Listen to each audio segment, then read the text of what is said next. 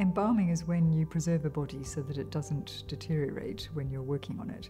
And most embalming systems in the world use formalin or something similar to formalin, which makes the bodies very stiff. Um, so they're very difficult to move. Thiel is what we call a soft fix embalming method. So it's one of the methods that allows the body to remain very flexible.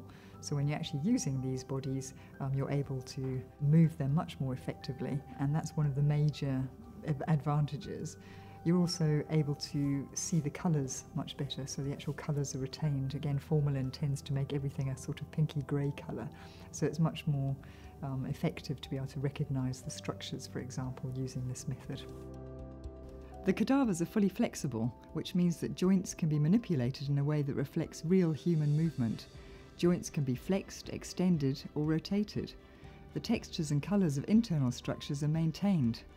Also, structures like tendons can be moved to show their function.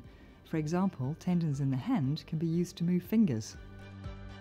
The Thiel is the best learning resource because it's very lifelike. It's flexible. You can like move the cadaver around and see how it actually works when the person was actually alive. It's just a normal living body, but it's not. So it's definitely like better learning resource for any students who's like looking forward to going into like anatomy or medical field. They're called the silent teachers for a reason, which is that they teach us something that's very difficult to put into words, I think, unless you've done it and you've spent your Tuesday morning doing that. So I think that when I graduate for Dundee, I'm going to have knowledge that really very few other graduates have because I've actually had this opportunity um, for to dissect a human body. I guess you see it more like a living textbook. You don't see it as a person. Yes, you do you do suddenly sometimes realize, oh, this is someone's um, relative that I'm working on. So you do get a bit overwhelmed by that. But then you also think, you know, they're here for you to learn. So I guess that's that's the thing that helps you to keep you grounded in your learning. I would say, learning from a Thiel cadaver because you know at the end of your learning is a real person, and this is what our professionalism deals with. Keeping that in mind, I think it helps you develop your skills towards treating patients um, thinking, you know, this is not just another problem I see, someone is attached to the problem, and it makes you more personable.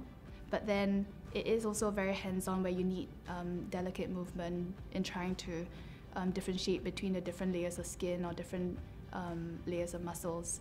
So it helps you to train your dexterity, I would say. Uh, the skin is very soft, so we get a feel of like we are doing a live surgery.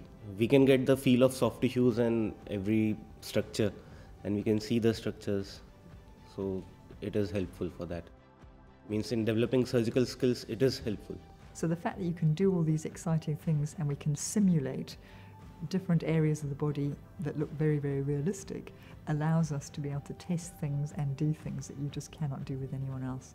So, for the summary of Thiel, it's the flexibility, the ability to be able to do so many different things with what, in essence, is, is your one body, is fantastic. They gave their body for a good cause. Like, that's what I want to do at the end of my life. I do want to give my body away because it's a really good resource for everyone who's wanting to do this. I mean, we have to be respectful because they gave their life away for this, for a better future for everyone.